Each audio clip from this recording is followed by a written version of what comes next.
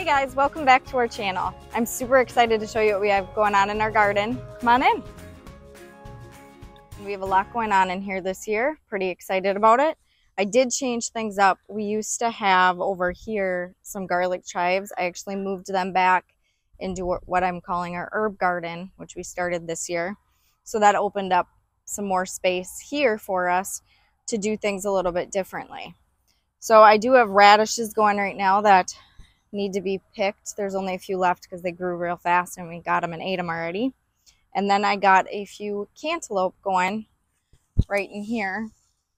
We haven't had much luck with them in the years past, so I'm kind of excited to see how they do in a planter box style versus out in our field. When we did them out in the field, we had a lot of problems with um, deer and things. So now that we have this fenced in, I'm hoping that those do better. We also have our tomatoes going, which as you can tell are already doing great back here. They seem to do way better in this garden than they do up front. Um, the only thing I've run into this year so far is it has been an extremely rainy season.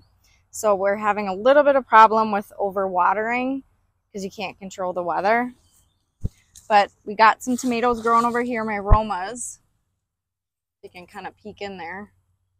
We're getting there. Tomatoes are always one of the most exciting ones that we get because we eat so many of them and they're just so much better fresh from a garden than they are in a store. So it's one of the main things I look forward to. And then we got our beets as usual. I planted them at all different times. So we got different sizes growing in here right now, which is the way I like it because then you can just pick and they'll keep growing and then reseed. Those are the kids' favorites. So we do tend to try to do more beets than anything else. My potatoes, as you can tell, are just crazy. They're already flowering. And they should be just about ready here. Not really. Here we go. There's a big one right there. So I'll have to weed through here and go through and pick those up. You just got to remember to hill these when they start to tip over.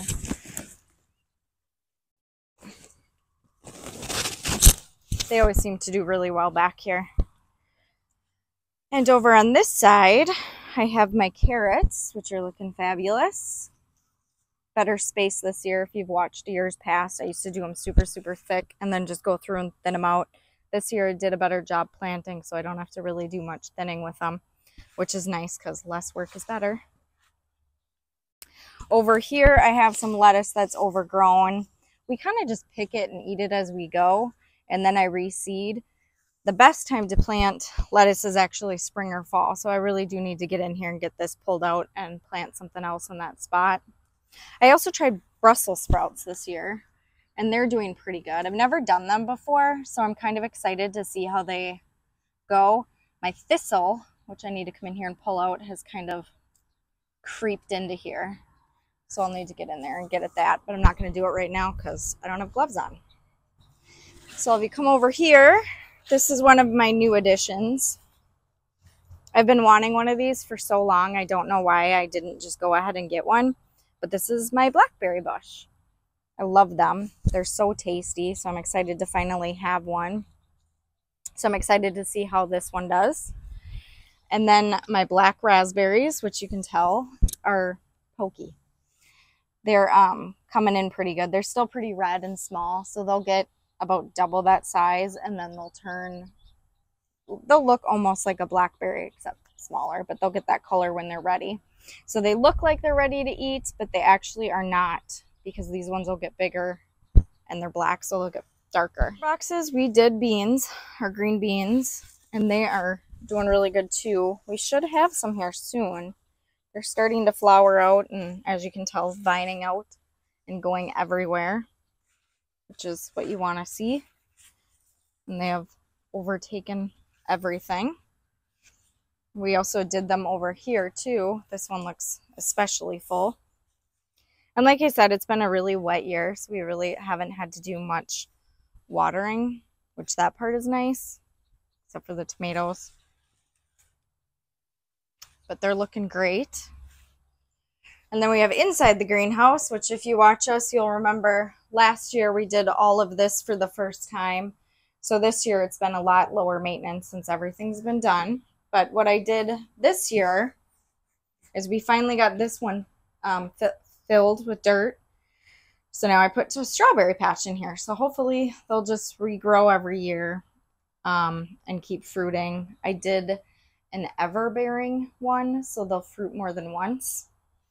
And so far they've been doing really good. The only problem we've run into is we've had a bunny around here, which has been a little bit tricky to deal with.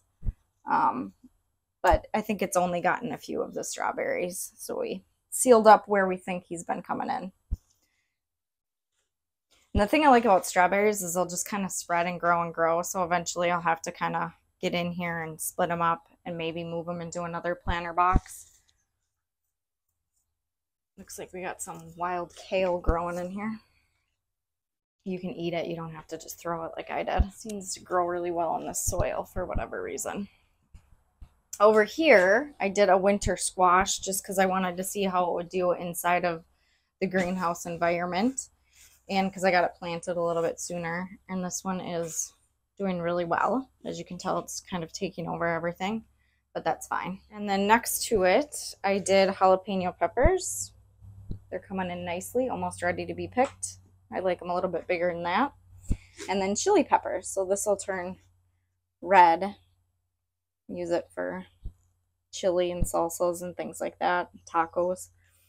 So those are good and growing well.